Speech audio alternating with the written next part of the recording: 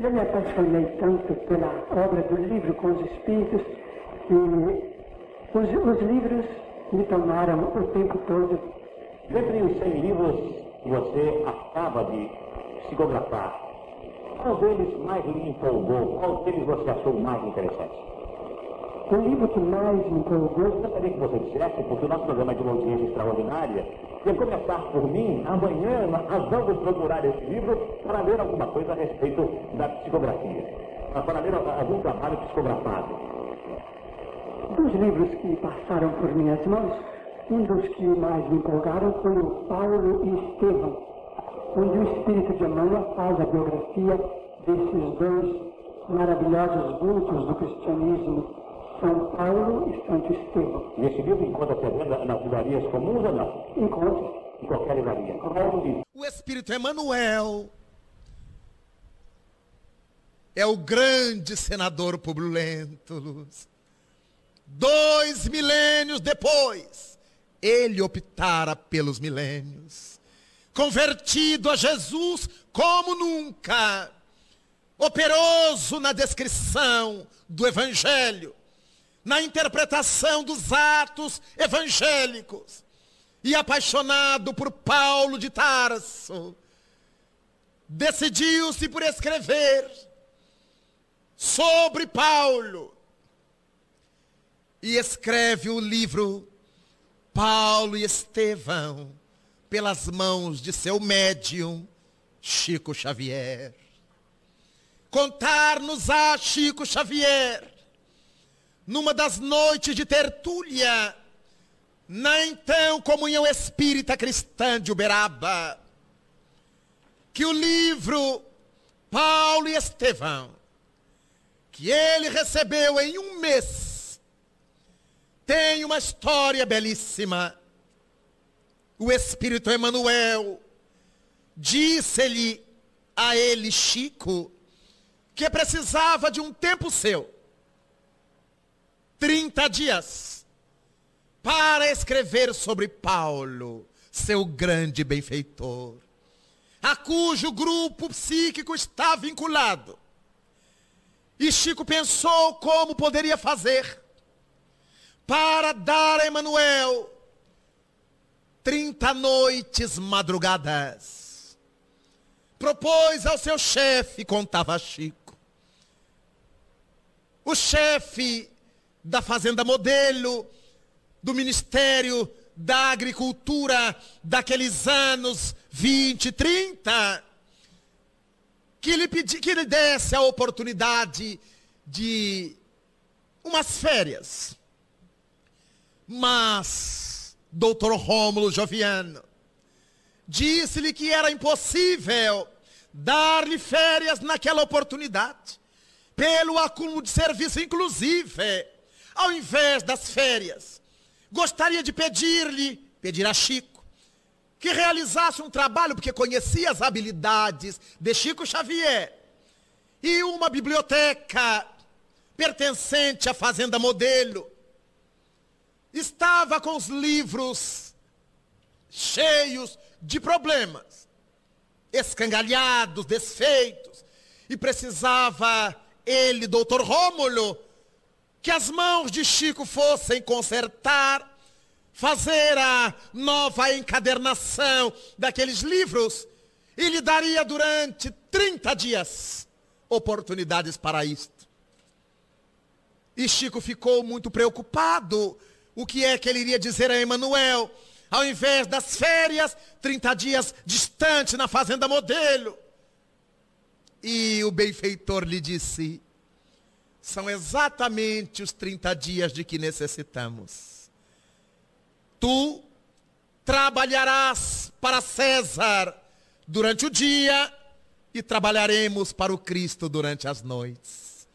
E contou-nos Chico Xavier que durante esse mês que esteve aliado de tudo, isolado, com a presença de alguns servidores e da cozinheira, nessa região, com os livros da biblioteca. Durante o dia, no horário normal, Chico trabalhava afanosamente para consertar os livros. E à noite, Emanuel assumiu o comando e durante largas horas escrevia Paulo e Estevão com um detalhe importante, que já não é detalhe, é um dado fundamental. Emanuel foi pedir ao Espírito Paulo a honra de ele próprio Paulo narrar a ele Emanuel a sua história para que ele pudesse transmiti-la ao seu médium Chico Xavier durante 30 noites madrugadas. Dizia-nos Chico, era um tríduo de trabalhadores, porque Paulo, da intimidade luminosa em que se encontrava no além, projetava seu pensamento para Emmanuel, que era seu médium, que transmitia a Chico Xavier, que era seu médium. Então foi um livro escrito a três cabeças. O próprio Paulo, que transmitia a Emmanuel, que transmitia a Chico Xavier. Quando lemos Paulo e Estevão, não sabemos como Emmanuel pôde retirar tantos detalhes, inclusive da psicologia de Paulo, é óbvio, fora o próprio Paulo que o narrara. E na última noite, quando Paulo vê a Jesus de Nazaré saído do corpo pelo fio de espada, quando o mestre vai recebê-lo nas portas do além, contará ainda Chico ao grupo de amigos que o ouvíamos. Paulo projeta psiquicamente a Emanuel a cena belíssima do além. E Emanuel, como presente, projeta na mente de Chico, que vê aquilo que Paulo vira há dois milênios. Contou-nos ele. Não resisti e desmaiei. Quando voltei, o livro estava pronto. Trinta noites, madrugadas. E Paulo e Estevão, o maior romance da literatura mediúnica de todos os tempos, narrado pelo próprio personagem sobre o qual Emmanuel escreveu. Essa aqui é a área externa da fazenda. Hoje está um dia muito bonito, já choveu, mas agora parece que o ar ficou limpinho, tem um sol gostoso. Está permitindo então que a gente possa passear e conhecer aqui um pouco mais dos arredores.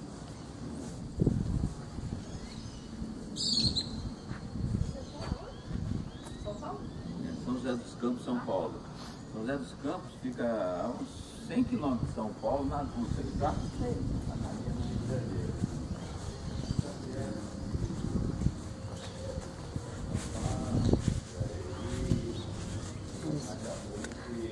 Aqui lá em cima vai ter uma história muito bonita.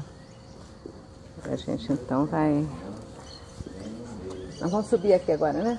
Ah, vamos aqui, vocês vêm na mesa de uma vez. Ó, você tem entrado lá na frente, lá capa aberta. Eu nem lembrei. Você vai falar sobre o terreno aqui agora do lado? Aqui eu ia contar região? lá na frente, que é de lá que o Chico via. Ah, ah certo. Tá? Então daqui a pouquinho a gente vai lá. a, a, fazenda ainda é do Ministério da Agricultura?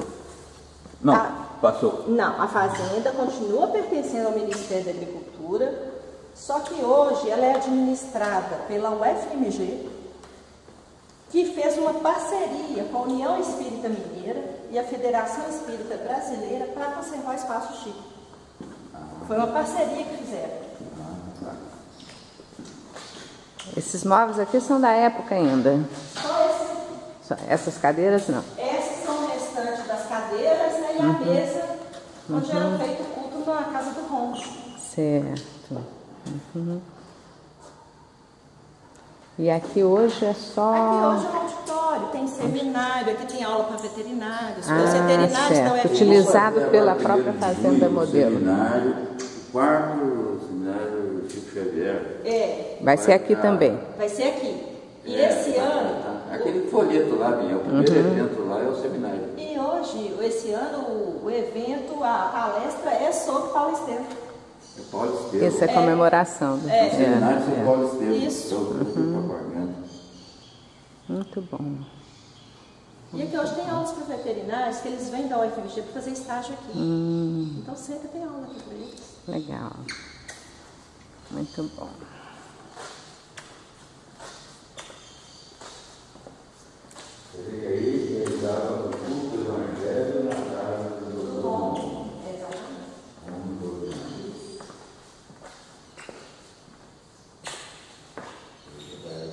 É a mesma, aquele quadro lá de baixo.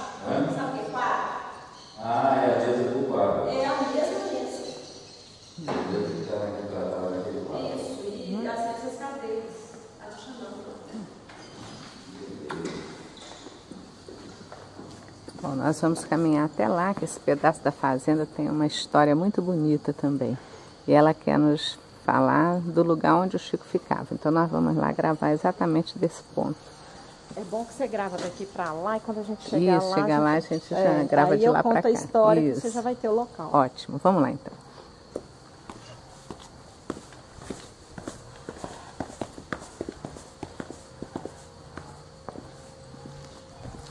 Igual você.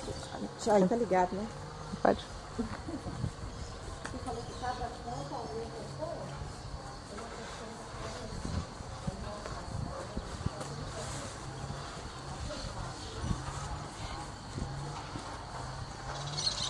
A fazenda aqui está na pujança aí. Muito trabalho. O pessoal lá no fundo também trabalhando.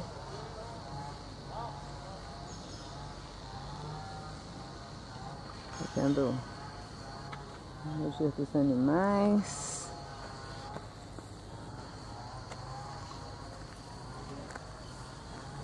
Aqui também o gado.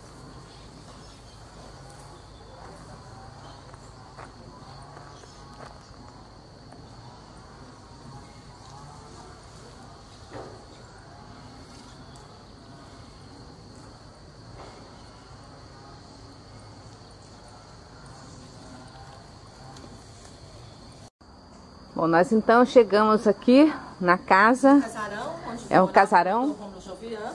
Certo. E passou a residir aqui no ano de 1948. Uhum. E a família fazia o culto no lar com a presença de Chico todas as quartas-feiras. E o Chico ficava sentado nessa bancadinha, aguardando o horário do culto. E ele olhava em direção a este flamboyant e via um portal se abrindo e as entidades de luz chegando para o culto.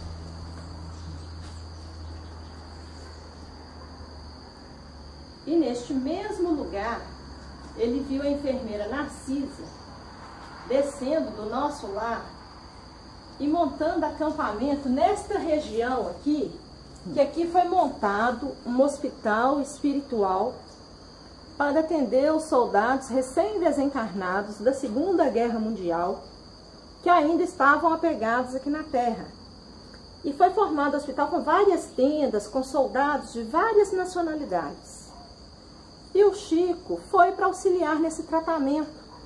Então o Chico conversava, gesticulava, e as pessoas na época passavam e falavam assim: ele é mesmo um louco, só fica falando sozinho. E os médios videntes que aqui vêm, eles falam que o hospital está em atividade até hoje, nesta região aqui. E tem uma outra história muito bonita nessa região. É um fato insólito contado por uma bezedeira antiga que chamava Satumásia. Ela contava que no dia 1 de abril de 1910, essa várzea aqui amanheceu coberta de garças e de lírio como nunca visto antes. E essas garças sobrevoavam Pedro Leopoldo exalando o perfume dos lírios. No dia 2 de abril, ao meio-dia, nascia Chico Xavier. Diz que nunca mais se viu tanta graça e tanto livro como naquele dia. Que lindo. No dia do nascimento de Chico. É. É, foi uma recepção. Foi, né? a natureza manifestou Natureza de alguma forma, né? A é. chegada dele aqui pra gente, deixando esse rastro de luz. Que maravilha. E chega aqui pra vocês verem umas fotos, você da janela, já já vê, tem que ser fechado. Que lindo.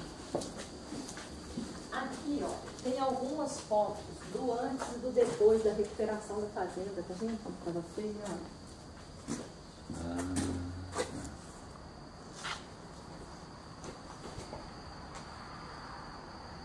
É, tava bem abandonado.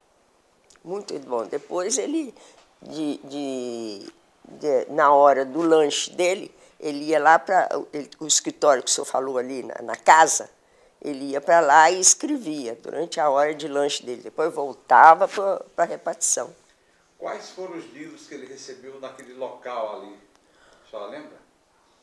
Eu acho Na hora do lanche, que tinha o famoso sapo que acompanhava ele. Isso, o sapo pulava lá e ficava vendo, né? Foi o que eu me lembro mais foi Paulo de Tarso, né? Paulo Estevam. Paulo Estevão. Que ficava. A, se- a senhora lembra desse.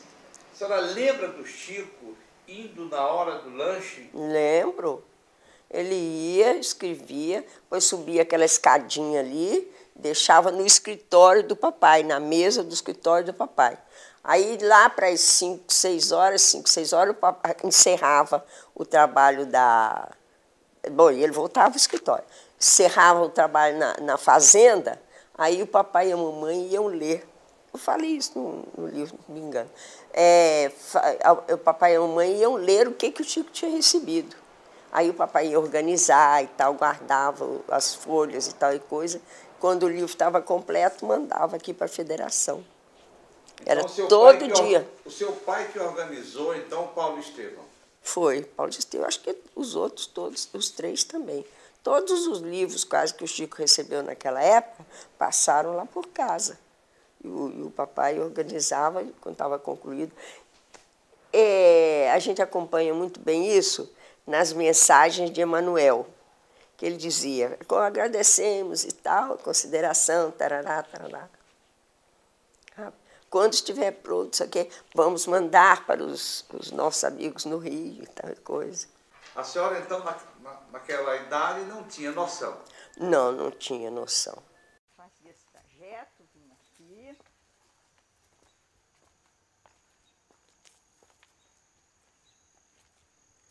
Aqui. Agora não sei se está aberto. Aqui também tinha uma belíssima de uma árvore, tudo aqui era gramado, bonito.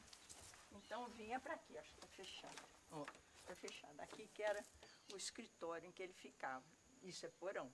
Não, não é. Ah, então esse é o escritório que o Chico. É, que o papai organizou para ele trabalhar na hora do café, ele vinha para cá e onde recebia os livros era aqui. Então ele recebia aqui todas as mensagens, tá, tá, tá, tá, tá, tá, já na máquina, né? O papai colocou uma máquina aqui, tinha uma mesa grande e estantes e tudo. E aí ele vinha, recebia. Então ele voltou, vinha aqui, tal, com os papéis na mão, né?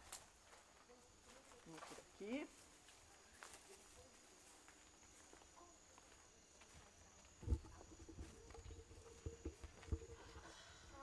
subia essa escadinha.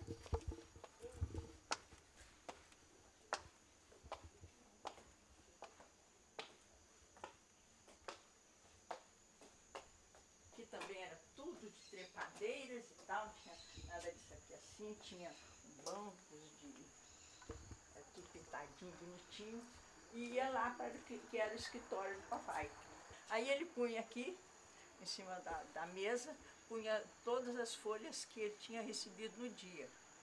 O papai, quando chegava, depois de cinco horas, quando se encerrava o trabalho da fazenda, ele aqui e a minha mãe liam. Então é que eu disse aí num desse livro, qual uma bendita novela, todo dia um pouquinho, todo dia um pouquinho. Depois, quando acabava o assunto, o papai arrumava tudo e mandava para a Federação Espírita em- Rio de Janeiro.